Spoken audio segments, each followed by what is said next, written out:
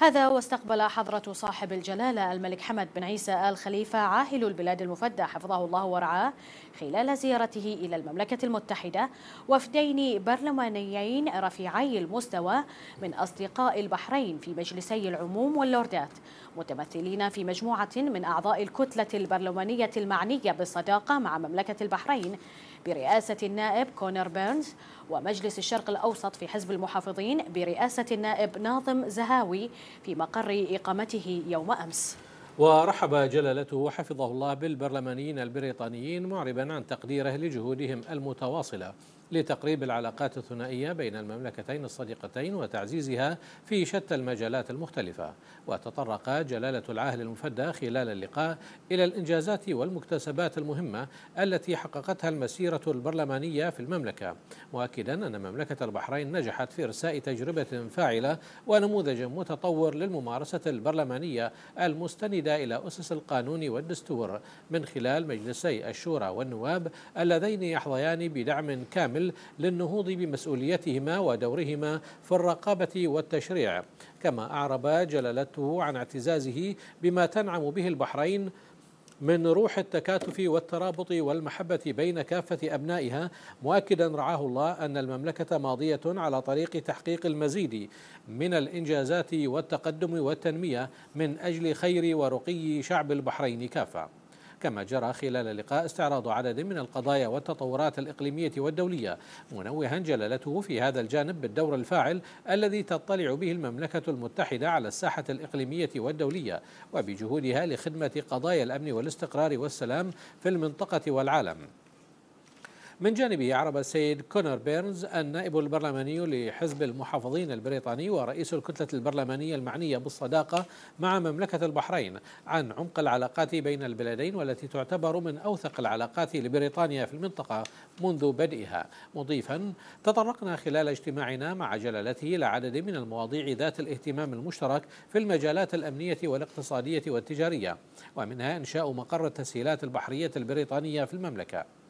وفي نفس السياق أوضح السيد بيرنز والذي يترأس الكتلة البرلمانية منذ ست سنوات زار خلالها البحرين عدة مرات. أوضح أن المملكة قطعت شوطا كبيرا في تاريخها لتصبح مثالا للانفتاح والتعايش لبلدان الوطن العربي حيث كانت سباقة فيما يخص حقوق المرأة وحرية العبادة والتسامح بين كافة مكونات المجتمع. من جانبه أشاد السيد ناظم زهاوي النائب البرلماني وعضو مجلس الشرق الأوسط في حزب المحافظين قائلا سعدت بلقاء جلالة ملك البحرين اليوم. العلاقة بين بريطانيا والبحرين تاريخية ومتينة وتم تعزيزها مؤخرا بافتتاح مقر التسهيلات البحرية البريطانية في الجفير كجزء من ميناء سلمان. كما استمتعت بالحديث مع جلالته حول مجموعة من القضايا ذات الاهتمام المشترك. يذكر أن الكتلة البرلمانية المعنية بالصداقة مع مملكة البحرين عقدت اجتماع جمعيتها العمومية السنوي في وقت سابق من اليوم نفسه حيث تم انتخاب أعضاء مجلس إدارتها الجدد كما تم إعادة انتخاب النائب البرلماني كونر بيرنز رئيسا لها. هذا وقد تم التصويت والموافقة بالإجماع من قبل كافة الأعضاء لتغيير اسم الكتلة إلى مسماها الحالي. وفي ختام اللقاء رحب جلالة الملك المفدى حفظه الله ورعاه بالأعضاء الجدد وبالمسمى الجديد للكتلة البرلمانية والتي تعكس بدورها عمق العلاقة التاريخية والودية بين المملكتين الصديقتين الممتدة منذ 200 عام. كما أثنى جلالته على جهود أعضاء مجلسي العموم واللوردات في تعزيز المصالح المشتركة متمنيا لهم التوفيق والسداد. من جانبهم أعرب النواب البرلمانيون عن بالغ شكرهم وامتنانهم لجلالة الملك المفدى حفظه الله ورعاه على ما وصلت إليه هذه العلاقات من تعاون وتطور ونماء في شتى المجالات في ظل توجيهات جلالته وجلالة الملكة إليزابيث الثانية ملكة المملكة المتحدة وشمال إيرلندا والوصول بها إلى أفضل المستويات حتى أصبحت نموذجا متميزا للصداقات والشراكة بين البلدين.